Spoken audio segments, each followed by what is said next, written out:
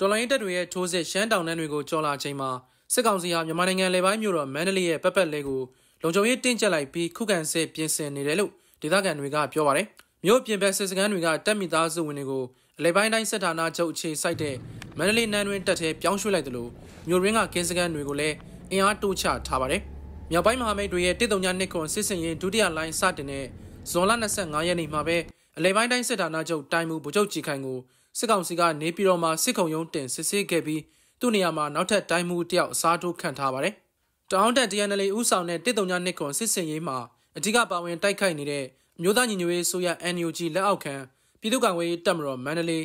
MDY PDF ကလည်းမုံကုတ်မြို့ပါဝင်မန္တလေးမြို့မြောက်ဘက်18မိုင်အကွာကမတရားမြို့နဲ့မိုင်40အကွာကစင်ကူးမြို့နယ်ကတပ်စခန်းတွေကိုထိုးစစ်ဆင်နေပြီးအဲ့ဒီစစ်စင်ရေးကိုရှမ်းမန်းစစ်စင်ရေးလို့အမည်ပေးထားပါတယ်။ တော်လိုင်းမဟာမိတ်တွေရဲ့လက်ရှိစစ်ရေးပြစ်မှတ်တွေဟာမန္တလေးမြို့ကိုဥတီနေတယ်လို့ယူဆရပါတယ်။ MDY PDF ရဲ့တာဝန်ရှိသူဒေါက်တာစိုးသူရဇော်ကတော့လက်ရှိဖော်ဆောင်နေတဲ့ရှမ်းမန်းစစ်စင်ရေးဟာမန္တလေးမြို့ကိုထိုးဖောက်ဝင်ရောက်မဲ့စစ်စင်ရေးအစိပ်ပိုင်းတစ်ခုဖြစ်တယ်လို့မြန်မာနောင်းကိုပြောပါတယ်။ဒါ NUG MOD အနေနဲ့အဓိကထားပြီးတော့မှဒါအာယုံစိုက်တာတော့ရှမ်းပြည်နယ်နဲ့ဒါမန္တလေးတိုင်းရဲ့ထိစပ်နေမြဖြစ်တဲ့ဒါ ရှမ်းပြည်နယ်မြောက်ပိုင်းအဲမန္တလေးတိုင်းမြောက်ပိုင်းပေါ့အဲအဲ့ဒါကြောင့်မလို့ဒါရှမ်းမန်းစစ်စင်ရေးဆိုပြီးတော့မှအမည်နာမတစ်ခုတည်တံ့ထပ်ပြီးတော့မှပေးထားခြင်းဖြစ်ပါတယ်အဲ့တော့ပြောရအောင်ဒါ1027စစ်စင်ရေးကြီးတွေကနေပြီးတော့မှပဲဒါကအာမန္တလေးတိုင်းကိုထုတ်ဖောက်ဝင်ရောက်မဲ့စစ်စင်ရေးအစိပ်ပိုင်းတစ်ခုလို့ကျွန်တော်တို့ပြောမယ်ဆိုရင်ပြောလို့ရပါတယ်ခင်ဗျ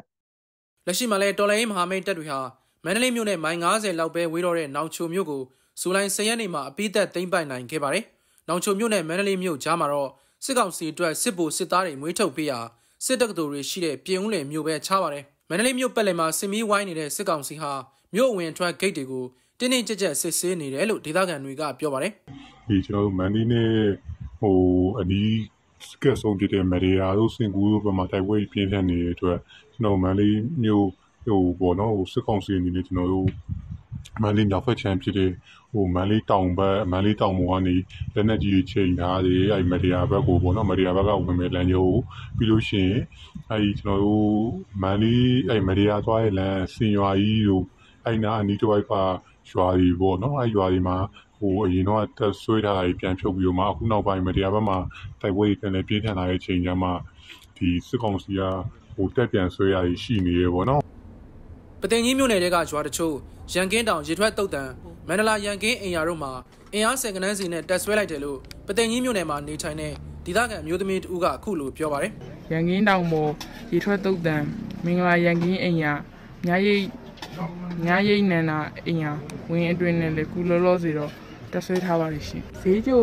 မမ်းမြင့်မှာပေါ်တက်မှာလည်းတက်ဆွဲဖို့လုံးနေပါတယ်ရှင်ဟုတ်မလေးတောင် A1 ချိုးရှင်စက်ရုံပေါ်တက်မှာလည်းတက်ဆွဲထားပါတယ်ရှင်အိန္ဒိုယာဖျားဝင်းထဲမှာလည်းအင်အား90လောက်နဲ့တက်ဆွဲထားပါတယ်ရှင်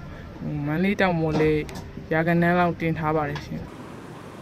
စစ်ကောင်စီတပ်ရဲ့စကိုင်းတိုင်းခြေစိုက်တပ်မ33လက်အောက်ခံတရင်လိန်ဟာပသိမ်ကြီးမြို့နယ်မှာခြေစိုက်ထားပါတယ်ပသိမ်ကြီးမြို့ရှေ့ဘက်မှန်ပင်နဲ့နန်းကြီးရွာတို့မှာချယ်လီယန်တရင်ခလာရ၄ ချေမြန်တရင်ခမရ116တို့အခြေစိုက်ပြီးမြို့တောင်ဘက်ကျွန်းဝန်းရွာနဲ့အုံချောရွာတို့မှာခမရ119နဲ့ခလာရ86တို့အခြေစိုက်ထားတာဖြစ်ပါတယ်မန္တလေးအောင်မြေတာဆန်မြို့နယ်အတွင်းကဈေးကြိုအိမ်တော်ရဖျားဝင်းနဲ့မန္တလေးတောင်မော်တို့မှာလည်းတက်ဆွဲနေရယူလိုက်တယ်လို့နောက်ထပ်ဒေသခံမျိုးသားတဦးကဆိုပါတယ်ဒုက္ခစီအနေနဲ့ဒီရက်ွက်ဟိုအုပ်ချုပ်ရေးရုံးနေပေါ့လေအုပ်ချုပ်ရေးအရင်ဆိုအရင် တက်ဆွဲထားတာမရှိရရက်ကွက်အုပ်ချုပ်ရေးရုံးနေမှာလေဟိုပြန်လေပြီးတော့ထပ်မံတက်ဆွဲထားတယ်ပြီးလို့ရှိရင်ဟိုတက်ဆွဲလက်စားရက်ကွက်ရုံးတွေကိုလည်းအင်အားဖြည့်ရပေါ့လေဟိုပြီးလို့ရှိရင်ကျွန်တော်တို့မြိုင်းနနာတိုက်ခန်းဘက်ကဟိုမြိုင်းနနာဘောလုံးဝင်းပေါ့လေချမ်းမြတာစီမျိုးနယ်တွေကမြိုင်းနနာဘောလုံးဝင်းမှာလည်းစစ်ကောင်စီအနေနဲ့အင်အားအများပြားနဲ့တက်ဆွဲထားတာရှိနေပါတယ်ဒီမန်လေးမှာတော့